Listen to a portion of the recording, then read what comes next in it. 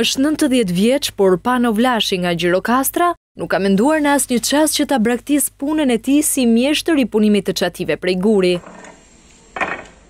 Këto çati që shihni në pamje janë punuar dhe projektuar me kujdes nga duart e tij, ndërsa Vlashi pohon se çdo tjegull dhe pllakë guri kërkon kohë dhe mund. Në Gjirokastër ai njihet si i vetmi që ndjek me fanatizëm traditën dhe që punon pavarësisht se prej vitesh ka dalë në pension. Për MCN-në ai rrëfen se i mbetet peng që zanati i tij nuk po trashëgohet tek të rinjtë, të cilët zgjedhin të largohen nga qyteti i gurtë. Është shumë e nevojshme të trashëgohen zanatet, mirëpo të gjithë të rinjtë nuk s'kanë qejf që të punojnë zanate.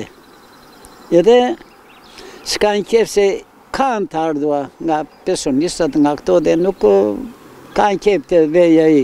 Pano Vlashi thotë se do të vijojë të punojë derisa t'ia lejojë shëndeti, ndërsa thotë se këtë zanat ia beson vetëm djalit të tij. Që të punoj në mbulim me shokë nuk e kam shumë të vështirë se s'më pëlqen, se tani ka dalë jo katosera, jo llamarinat, nuk kemi, jemi në majë të shkëmbit, do bëjmë një godinë atje, s'kemi nga këto gjëra, si do bëjmë? Se këtë punë, dhe kjo punë është me përgjegjësi, se mund ta mbulosh, po duhet ta mbulosh, të më janë dy gjëra, duhet bukuria një, dhe saktësia. Vizitorët vendas dhe të huaj, të cilët janë të shumtë në Gjirokastër, kryesisht gjatë sezonit të verës, e preferojnë këtë qytet sidomos për shtëpitë karakteristike me çatitë e gurta.